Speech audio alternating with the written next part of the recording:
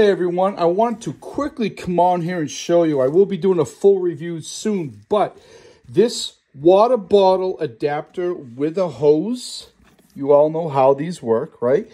Uh, comes in different, comes in a kit with multiple pieces that will go on this, a water bottle, any one of these. This is the one I usually use the most. Um, it's such a really nice kit. It's $30 on Amazon. It's from Source.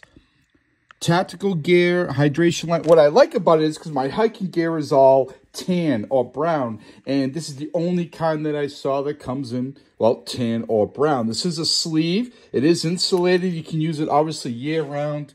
I love it because it can go on any bottle, whatever you're using.